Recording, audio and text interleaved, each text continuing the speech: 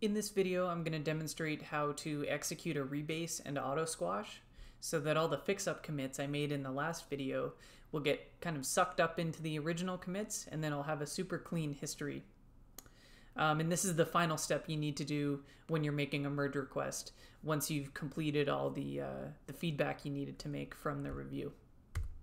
So I'll head over into GitKraken here to just show you what's going on. Um, I'm on this downlink schedule branch and I've made several fix-up commits uh, as a result of comments from the review. The next thing I need to do uh, is rebase this branch onto master. Um, so it's actually already on top of master, but what I need to do, it, it may not be in your case, what I need to do is is do the rebase with the auto squash so that all my fix up commits will get sucked into the original commits. Um, since I'm up to date with master, I'm probably I shouldn't get any uh, merge conflicts or rebase conflicts, I guess. Uh, but this shows you what you need to do uh, to get yourself up to date. And then once I do the rebase and all the fix up commits are squashed, I can then force push this branch after testing it uh, through Houston and also checking that it still compiles. Um, and then I can uh, actually go ahead and complete that merge request. Uh, so let's do the rebase. I can't actually do this in GitKraken as far as I know anyway, so I'll show it on the command line. Um, I'm in my repo right here. Um, now I need to do git rebase, origin, uh, and then interactive, and then dash dash auto squash. And when I do that, uh, Git's going to bring up this interface here uh, that's going to allow me to do various things. So this is the, the rebase interface, I guess.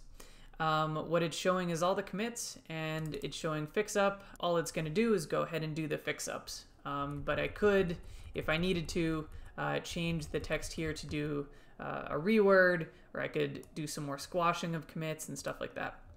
Um, so now all I need to do to keep moving is uh, write this file and there we go. Uh, the rebase is finished. So this was a really simple one since I was already actually up to date with master.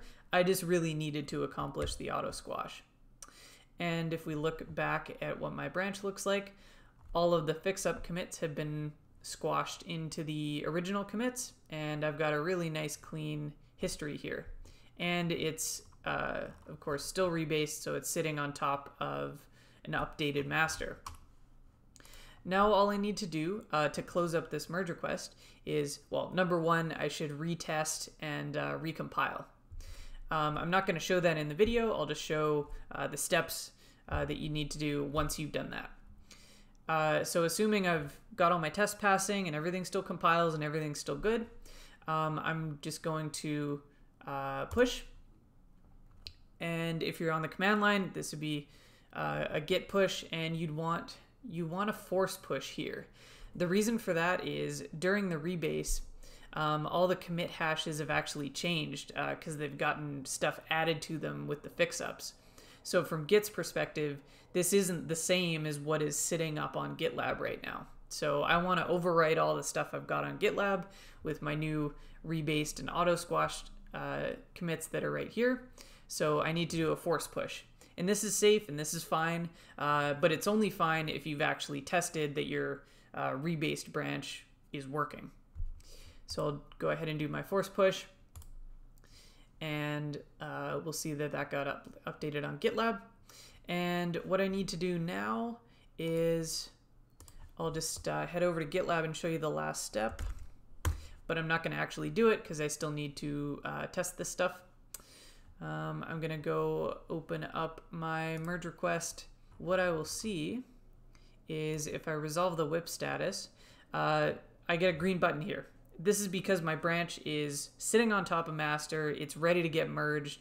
There isn't anything that needs to, to happen since I've done the rebase. So once I've tested, I can just hit merge, uh, click delete source branch, and then I'm good to go. Uh, this, uh, this merge request will be closed.